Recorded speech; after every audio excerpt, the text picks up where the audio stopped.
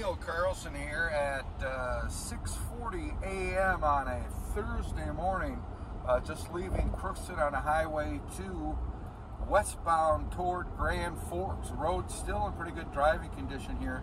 Uh, as you heard, I-29 is now closed between Grand Forks and Fargo because of uh, icy road conditions. Uh, that hasn't hit here yet. I also made the drive from uh, Grand Forks to Crookston about uh, 5 a.m., hour and a half ago. It was fine. Uh, the problem is the Weather Service says we're in a blizzard warning and we can expect as much as a foot of snow in this area. A little bit wet in places. Uh, temperature of the vehicle says 31 degrees outside, so on the verge of uh, uh, getting ice on the road here, you're going to have to be careful. It does look wet in some places.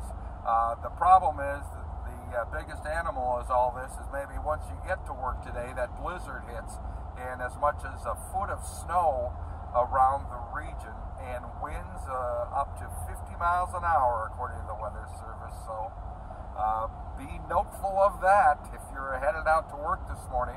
Uh, road's still in pretty good driving condition here on Highway 2 by Crookston, heading toward Grand Forks. But things are expected to change rapidly. I'm Neil Carlson reporting for iNewZ.TV.